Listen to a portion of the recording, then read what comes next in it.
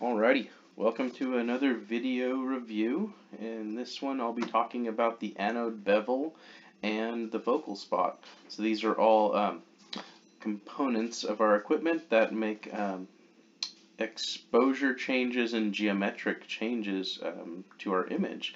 So uh, these are things that we can adjust. We call these things variables. The anode bevel is um, refers to the angle of the target surface of the anode in relationship to a, a, a vertical line drawn perpendicular to the long axis of the X-ray tube. Basically, if you think about it, the anode, the positive side of the X-ray tube, the spinning tungsten and molybdenum disk, um, is struck by a, a, high high velocity stream of, of uh, electrons, and um, our goal here is to um, one, you know, slow these electrons down so that we can use their kinetic energy, convert that into electromagnetic radiation. Um, we have to do it in such a way to where the um, to where they are projected largely downward. Um, so the anode bevel, is, the anode itself, the anode surface itself is beveled. Um, making a bevel means to, to, cut that surface at an angle. Um, so this affects some things, uh, this anode bevel. This is uh, obviously not something that you can change um, you know, um, on hand in any x-ray room. It's not as if you swap out the anode, but different machines have different anode bevel angles depending on their use. And we'll sort of try to uh, um, uh, allude to some of those as we go through this. So it affects some things. It affects both the size of the projected focal spot, we call that the line focus principle, and the distribution of the X-ray intensity within the beam.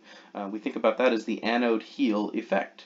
Um, the anode heel itself is the basically the, the back and bottom side of the anode. Um, let's take a look at some things.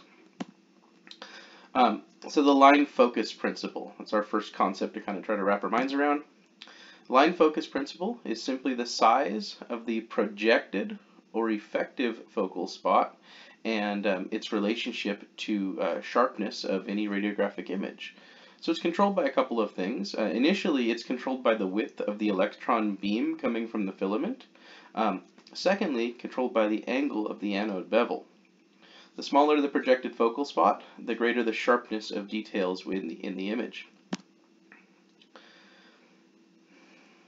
Okay, so as shown on the uh, in this diagram here, uh, the image on the right, um, if the uh, anode bevel were uh, 45 degrees, which it's not, but if it were 45 degrees, the actual um, projected stream of electrons would be as wide as the effective focal spot.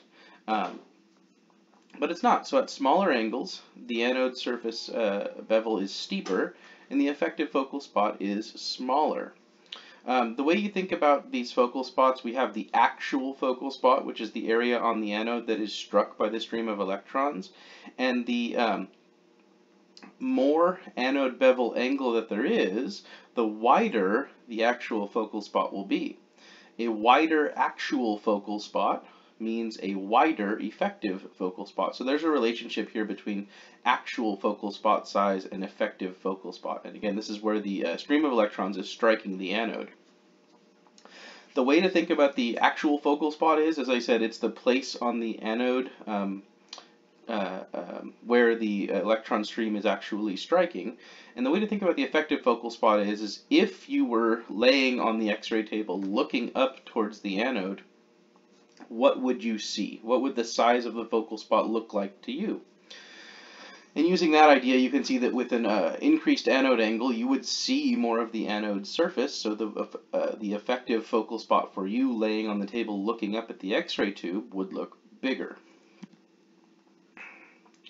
So the true actual focal spot is measured along the anode surface. The actual focal spot is the area for dispersion of heat from electron bombardment. That is to say, a wider actual focal spot is better um, for heat dissipation. Um, however, it has some effects on image quality. Um, a smaller actual focal spot would equal a smaller effective focal spot, increasing image quality, but giving us less heat dissipation. So using a very small electron beam to achieve a small focal spot would concentrate the heat and potentially melt the anode. So we have to strike a balance here between how big our focal spot is, which affects image uh, sharpness, and also heat dispersion. We're making a large amount of heat in these X-ray tubes. You know, um, you know, you hear things in, in school as, as stuff like, you know, out of 100% of the energy that goes into shooting that electron stream across, roughly 99% of that energy or more is turned into heat. Um, the rest, that less than 1%, we actually get usable X-rays from that. The line focus principle makes it possible to achieve a very small effective focal spot while at the same time allowing sufficient area for heat dispersion at the actual focal spot. And our goal here is to strike a balance, right? Um, achieve maximum sharpness while maintaining good heat dispersion.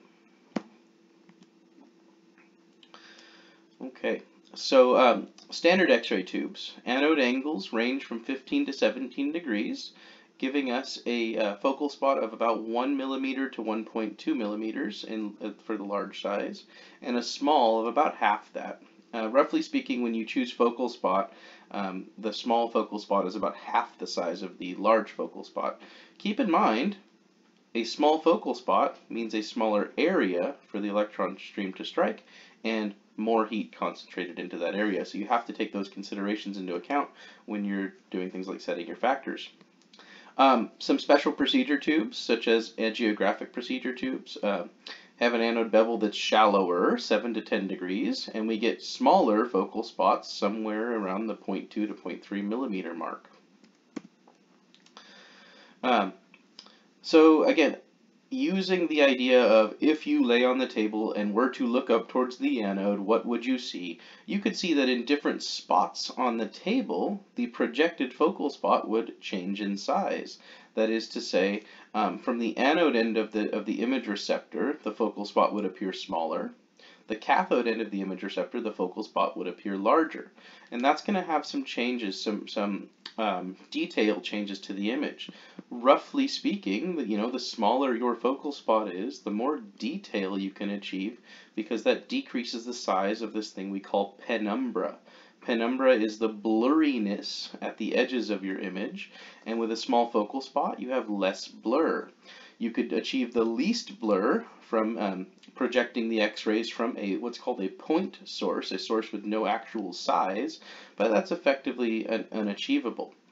The only other way to increase sharpness in this case would be to increase your source to image distance, which I'll talk about in another video.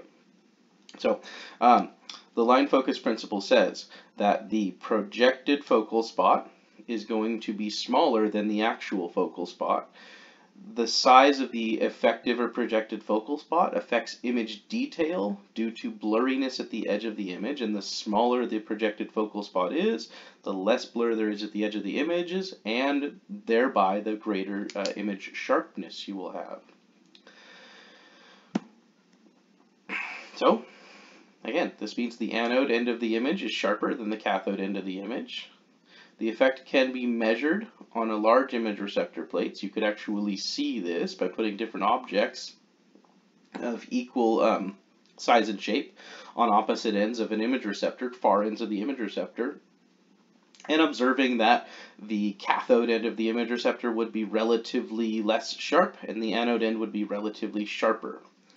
Um, and lastly, the effective focal spot is more accurately defined as the focal spot projected by the central ray.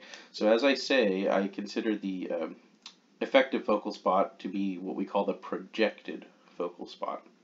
Okay, short little video on um, the uh, anode bevel and focal spot. Um, please follow up for the next video where I'll get to talk about the anode heel effect itself. Thank you.